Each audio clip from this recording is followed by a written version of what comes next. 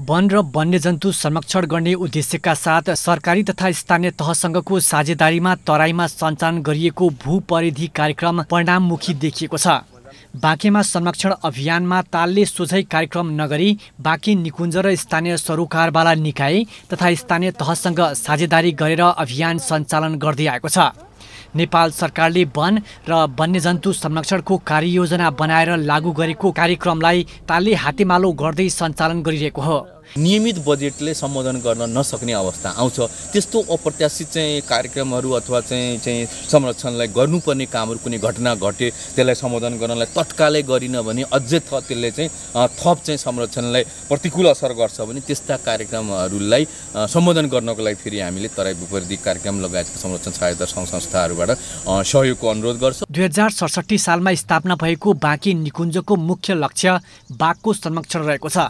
बाघका लागि आहारजन्य वन्यजन्तुको संरक्षण गरी बाघको सङ्ख्यामा वृद्धि गर्न बाँकी निकुञ्जलाई चुनौती देखिएको अवस्थामा घाँसे मैदान निर्माण पोखरी निर्माण र पानी नहुने सुक्खा ठाउँमा सोलर जडान गरी पानीको व्यवस्थापन गर्न तराई भूपरिधि कार्यक्रम उपयोगी देखिएको छ। घाँसे मैदान व्यवस्थापनको कामहरू त्यस्तै पोखरी निर्माणका कामहरू पोखरी म्यानेजमेन्टका कामहरू जसले गर्दा वन वन्यजन्तुलाई संरक्षणमा त्यसले टेवा पुगेको अवस्थाहरू देखिन्छ।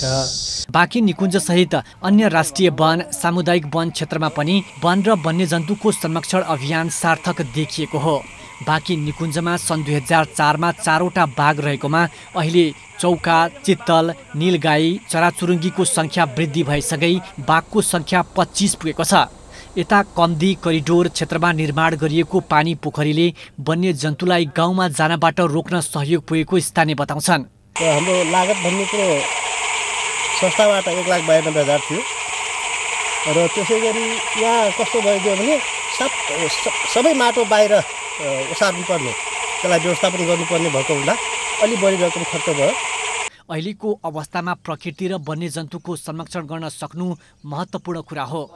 बाँकीमा जस्तै देशका अन्य क्षेत्रमा पनि संरक्षण अभियान प्रभावकारी रूपमा सञ्चालन गर्न सके प्रकृति र वन्यजन्तुको सह अस्तित्व कायम गर्दै पर्या पर्यटनको विकासमा टेवा पुग्ने देखिन्छ। दुर्गा रोकाया बाँकी